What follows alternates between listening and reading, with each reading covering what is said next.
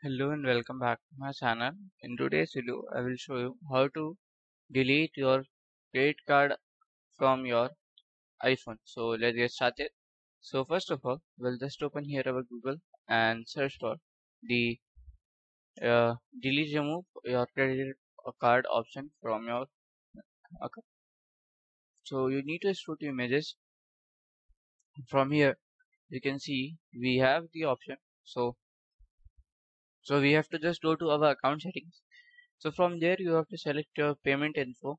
And from payment info there will be an option to select the card. From there you need to just change to your none and you have to delete your uh, existing card and it will be deleted. So this is how we can just delete our credit card from the iphone. So if you find this video helpful make sure you like subscribe and share the video.